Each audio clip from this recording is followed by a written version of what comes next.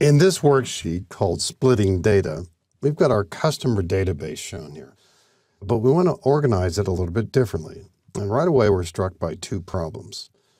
We can't sort this list by state.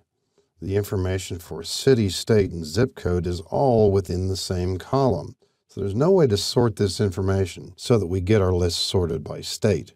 If we do sort by column D, it's going to alphabetize this by city. And also look in column A. The names are in first name, last name order. If we sort this list, I'll just click over in column A and quickly from the data tab, click the AZ button. We can sort this list, but it's alphabetical by first name. And invariably, we would want to sort this by last name. Now, there are two ways to work with these issues. One is brand new in Excel 2013. We'll get to that in a minute. It's called Flash Fill. We want to talk about first the feature called Text to Columns. In column D, we'd like to split this data into three separate columns. If you have worked with database software, you're familiar with the concept that each column or each field should contain a minimal amount of information keep information in separate columns. It's easier to pull that information together than it is to split it apart. But we've got this situation here where we do want to split the data. Let's select column D. There's nothing else in this column. And then on the Data tab in the ribbon, point to the feature Text to Columns. You see the description of it. And they refer to the idea that you might want to split names into separate columns.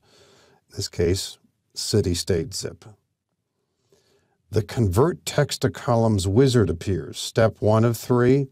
First step is simply to indicate that we've got a delimiter. In other words, as we look at this data, we recognize a state code because we see a comma. In other words, the cities are delimited by a comma. And some cities have two names, San Antonio, Klamath Falls, etc. Our splits are not at a fixed number of characters. So choose delimited, next. On to step two of the wizard. What is that delimiting character? Now, this comma box might or might not be checked. We want it checked. And in the preview down below, and you might have to do some scrolling at least at first to see what's happening, here's what we're about to see. It's going to split the city names into a separate column from the state and zip code. We'll click Finish. And now we've got our cities in column D and our state and zip in column E. Looks like there might be a leading space there, but that shouldn't pose a problem. Let's do the same kind of thing in column E now. Text to columns, delimited, next. And this time what separates the data is not a comma, but a space.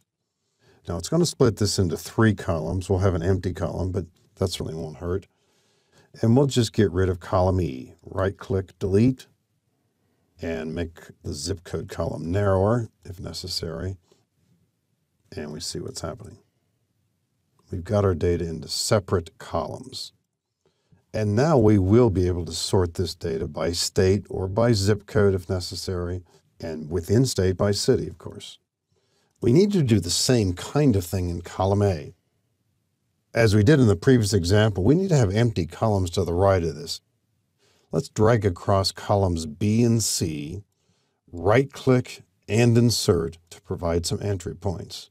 Now we can use text to columns here like we did before, but the new flash fill feature gets the job done pretty quickly. I'm going to type the word Aaron.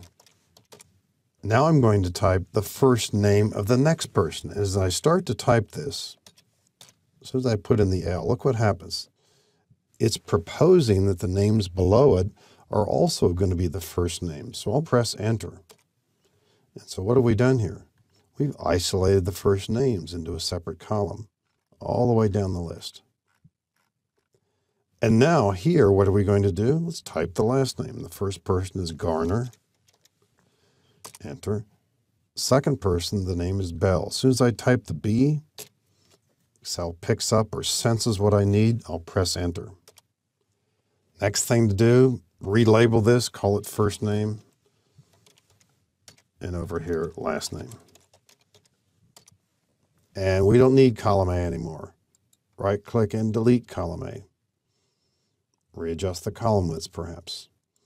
Now, in some cases, you'll see last name, comma, first name in the same column. That's just fine. You can sort. And if we want to sort this list coherently, we can do it relatively quickly by clicking in column A first to do an AZ sort, then click in column B and do an AZ sort, clicking the AZ button. And now we've got our list alphabetized by last name.